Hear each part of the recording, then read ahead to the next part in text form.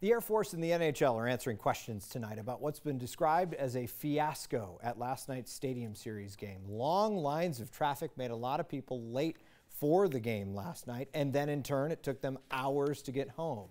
Tonight, the league and the Air Force are explaining, but not apologizing.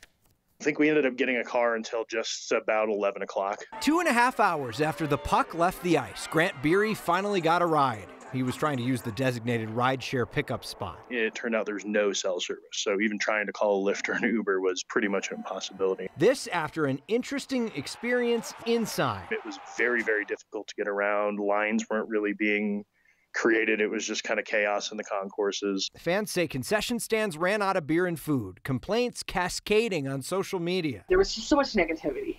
Cassie Lynch has been trying to stay positive, though it's difficult. A lot of things could have been put together better. Tonight, the Air Force Academy and NHL released a joint statement saying they've told people for weeks to leave plenty of time to arrive, blaming unforeseen circumstances on the highway, like a crash and some emergency repairs. And the league and school explained a tragic incident where a man lost his life near the North Gate led to backups for fans leaving.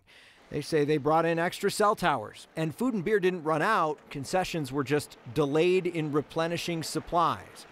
Some fans remain fuming, while others, like Cassie, decide to focus on the positive. Social media makes it look like everybody had a bad attitude about it. Yeah, this was really a rough night for a lot of people, but a lot of people stepped up.